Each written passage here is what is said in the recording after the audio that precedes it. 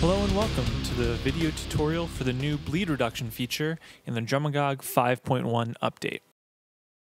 Drumagog has previously included different ways to reduce bleed on a track, uh, such as the auto ducking feature, the filter section, and the sensitivity bar.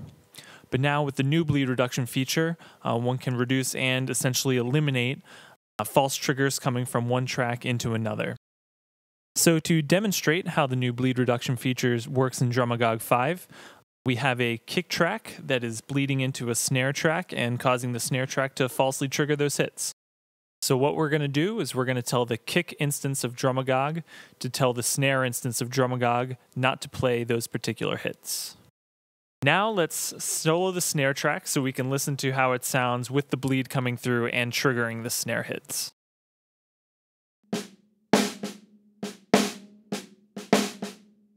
Now you can hear and see the falsely triggered hits coming in from the kick track to the snare track. Down at the bottom part of the visual triggering window, you can see where the bleed is, those smaller white blips uh, that are being falsely triggered. So now we're going to show you how to use the new bleed reduction feature to remove these falsely triggered hits from the snare track. The way bleed reduction works in Drumagog 5 is using the same technology that already exists within the plugin uh, that's used for the auto ducking feature. What this does is it allows one instance of Drumagog to tell another instance uh, that certain hits are bleed and not to trigger them. This feature is also non-host dependent and will work the same way no matter what DAW you're using. So to turn on the bleed reduction feature in Drumagog 5, you want to go to the settings section.